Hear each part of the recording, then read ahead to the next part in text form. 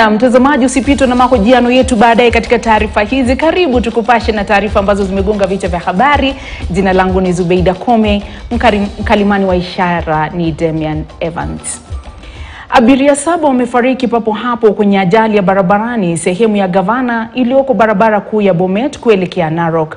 Inasemekana dereva wa lori la mizigo alishindwa kulithibiti gari lake na kugongana na matatu hiyo. Alimanzu na taarifa zaidi. Haya ni mabaki ya matatu ya abiria iliyokuwa inaelekea hapa jijini Nairobi kutoka kaunti ya Bomet ambapo iligongana na lori hili la mizigo katika sehemu ya Gavana, barabara kuu ya kutoka Bomet kuelekea Narok.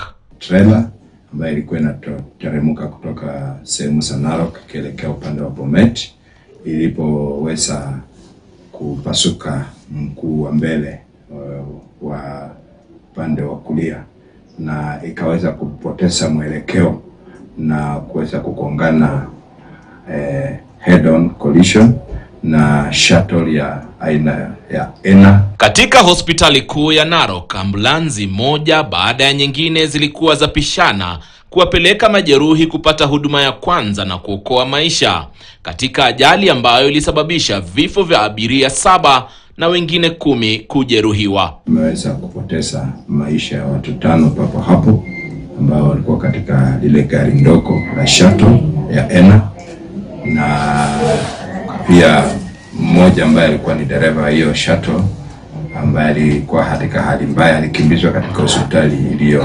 barabarani hapo karibu, hospitali ya Premier, na pia ameweza kuaga. So kwa hivyo kwa jumla tumepoteza watu sita katika ajali hiyo na wengine wako katika hali ya mahututi. Maafisa wa afya walikuwa na wakati mgumu kuhakikisha wanaokoa maisha waliojeruhiwa kwenye ajali hii iliyosababisha vifo hivyo, tano wakifariki kwenye sehemu ya mkasa.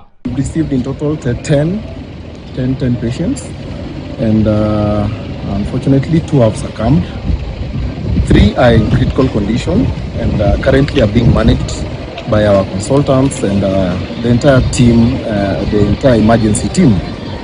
Five are stable and uh, also under, under, under care with us.